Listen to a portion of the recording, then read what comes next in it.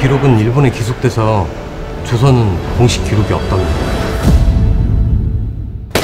손기정 세계대표 10주년 기념 마라톤이라고. 우리 민족의 3대 영웅 손기정. 주신 안중근 손기정. 대회 우승자는 서윤복 학생이 되겠습니다. 애들 그냥 다 당신같이 되고 싶은 거야. 당신 영웅이잖아. 영웅은 무슨 일본 사람 이름으로 기록이 남은 거지 우리 같이 보스턴 가세 서윤복이라고 기억하나? 깡도 있고 막도 있고 달리는 건 어디서 배웠어? 쭉 혼자 떴다니까요? 저 직접 뛰는 거 보셨잖아요.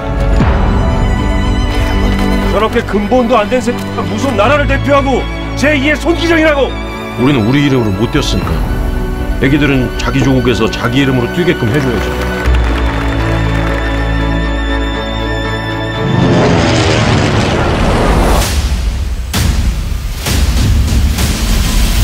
베를린의 영광이 조선인의 손기정의 영광이야?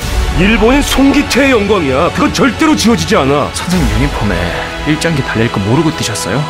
그게 뭐 그렇게 대단하다고? 까놓고 나라가 당신들한테 해준 게 뭐가 있어요?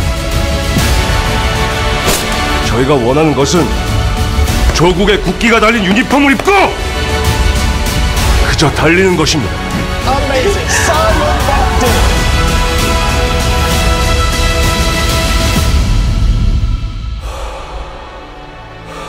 선생님 저 뛰고 싶어요.